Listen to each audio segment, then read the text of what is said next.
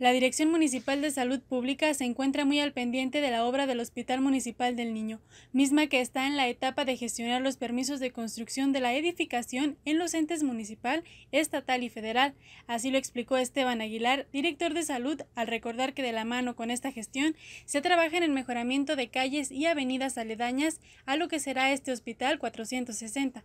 de alguna manera, en la parte de obra, ahorita la Dirección Municipal de Obras Públicas ya está trabajando en lo que es la, terracería, en lo que es el lograr el nivel de altura y de superficie que se requiere para la construcción del hospital, para la edificación como tal.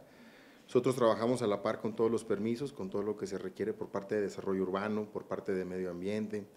por parte de aguas del municipio, por parte de la propia Copriced y hasta de Cofepris. Entonces, todo eso es algo que pues administrativamente sí requiere algo de, tiempo, pero estamos eh, trabajando diariamente para que podamos tener los permisos, para poder lograr las autorizaciones en el corto tiempo. Aseguró que a la par de la espera de que se autoricen los permisos, no están de brazos cruzados, pues el proyecto no solamente es edificar este hospital, también se requiere mejorar los accesos y las calles que rodean este nosocomio para que la atención de los pacientes sea integral una vez concluida esta obra. Esteban Aguilar recordó que posteriormente se trabajará en la licitación de la obra, pues la inversión supera por mucho el millón de pesos y debe intervenir obras públicas y finanzas para crear este proceso de contratación donde esperan encontrar al mejor constructor para este proyecto tan noble. Con imágenes de José Quiroga, reportó para Noticieros Garza Limón, Arim García.